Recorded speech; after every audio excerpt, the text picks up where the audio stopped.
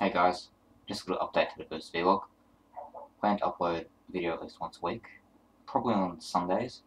I'll typically gloss over the latest release from GW, as well as whatever else I might find time to talk about.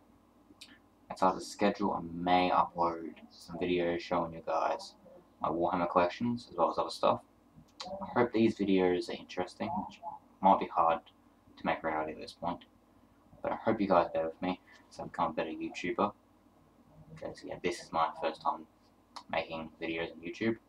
So give me a bit of a break if I come across being if I come across having no idea what I'm doing. but yeah. Hope you guys like my videos and I should have something during the middle of the week before. You later.